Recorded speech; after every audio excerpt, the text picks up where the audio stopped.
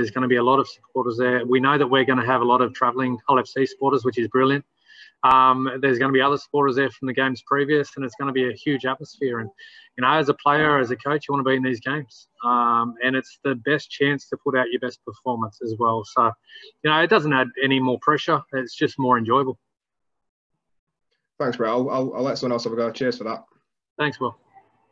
Yeah, we'll uh, we'll open it up to the floor if anybody uh, wants to jump in with any more questions for Brett. Hi, Brett. Uh, you mentioned there about the, the playoffs and still being in contention for them, but are we quickly entering into last chance saloon for this Hull side in terms of opportunities are uh, slipping away? Do you really need to really turn the corner now and, and put the results uh, together and back it up with a few sort of wins just for momentum? Because uh, you really need to hit momentum now at the right time of the season. Yeah, you're right in that we, we do need to obviously win the next three games, but the fact is is that there's no use thinking about the next two.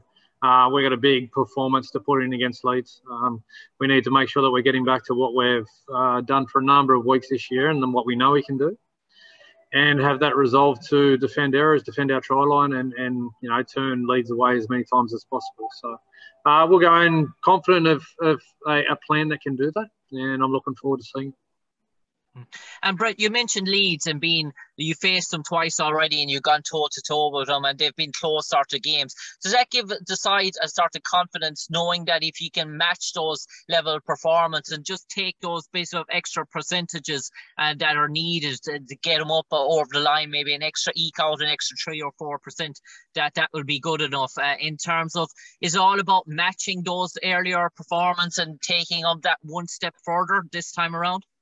Uh, yeah, look, it, it's not about matching it because I think that's a negative mindset. I think it's for us, we have to take it to Leeds and we have to make sure that we're setting our standards and, you know, to see if they're good enough to match us. Um, if if we're going into the game hoping to just stick it with Leeds, then they're going to be way too good for us because it won't be the right mindset that we need. So, uh, you know, again, we're, we're going to go in there with a real clear plan and, and what's required to execute that plan.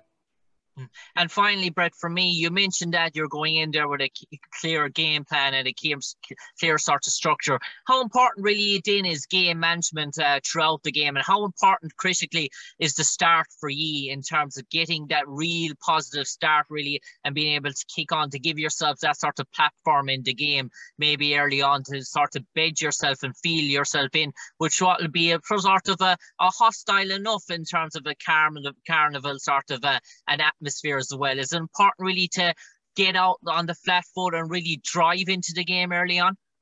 Yeah, no doubt. We have to start well. Um, you know, our, our, end of sets haven't been great this last couple of weeks as well. So, you know, our start putting them in the corner, making them come off their own try line, and then hopefully forcing an issue um, and error out of yardage. So, um, yeah, it's crucial that the start of both halves uh, need to be top quality, and uh, you know, we need an 80-minute performance. Uh, simple as that. And if you don't play for 80 minutes against Leeds, then you won't often come up with a result. Cheers, Brett. Thank you.